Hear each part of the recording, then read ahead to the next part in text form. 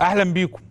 أجازة ممتدة حوالي 40 يوم. المصري أفندي غاب عن حضراتكم وحضراتكم كنتم في بال المصري أفندي طوال الشهر وعشرة أيام. هي ما كانتش أجازة بس عارف بيسموها استراحة كده يعني على الأقل ترتاحوا من وش المصري أفندي شوية. المصري أفندي خلال ال 40 يوم حصلت أحداث كتيرة جدا أحداث محلية تحديدا.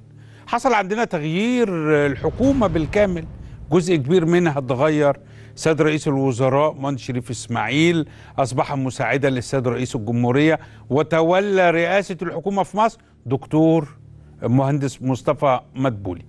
تعالوا نعمل مع بعض كده مراجعة سريعة بالترتيب اللي إحنا شفناه ترتيب زمني. آه، خلال ال 40 يوم نفكر بعض إيه اللي حصل في ال 40 يوم أثناء غياب المصري افندي نبدأ بأول حاجة.